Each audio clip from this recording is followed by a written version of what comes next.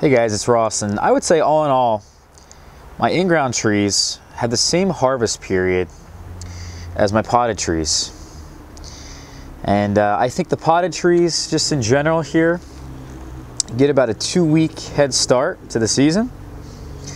Whereas my in-ground trees seem to ripen continuously two weeks after the potted trees have kind of given up.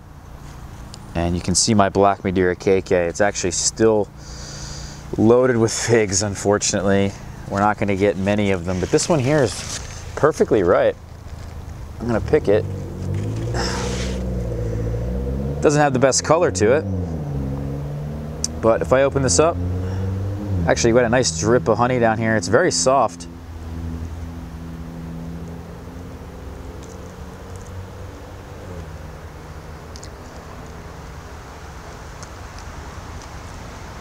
It's very good. Even today, which is uh, like October 10th, something like that, this fig's incredible. And it just kind of goes to show what I've been saying is that the ground here in the earth is just warmer. Even though it has been much cooler at nights and uh, a lot of the potted trees actually have kind of started dropping their leaves and started not to look that great. Because they're above ground, they're above grade, that cooler temperatures are hitting them harder than they are in the ground. And I should take some soil temperature readings, but for the most part, I'm just happy to have figs continuously for two more weeks at least after most of my potted trees have kind of given up. Um, and you can also see over here, Here's my Nerucciola Elba, which is putting out its second crop of the year. This is an in-ground tree, but we planted it this spring in the ground. Uh, it got no head start though. So it woke up around April 15th underneath the sunroom. We planted it out sometime around that time and it's been in ground pretty much all season. And it's putting out two crops and they're drying up on the tree.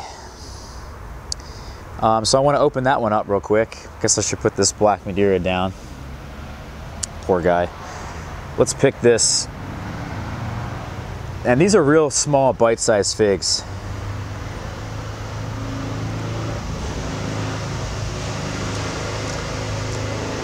Oh, that's real good. And look how red that is. It's almost purple. It's very bitter at this time of the year. This is a fig that some people have described as bitter, and I can see it now. I get it. Uh, late in the season, when the temperatures cool down, it's a bitter fig. Uh, but it's weird. It's a nice balance of sweetness and bitterness that you really just don't find in any other fig. Here's another one over here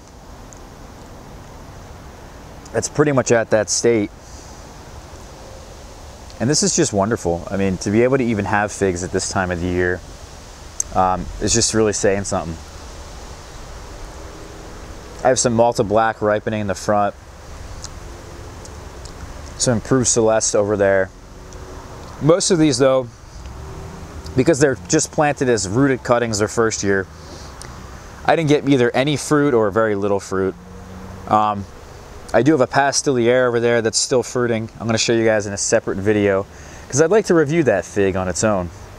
So we'll do that now. Um, but yeah, that's kind of the whole point of this video here, guys, is that I wanted to show you guys the big differences. And not only that, but I think a large portion of it is that this area here just gets more sunlight than the patio. Even on the west side of the house, we have a lot of in-ground trees over there. Some of them are indeed still fruiting, but even those are getting more sunlight and more heat than this area, or I should say the patio.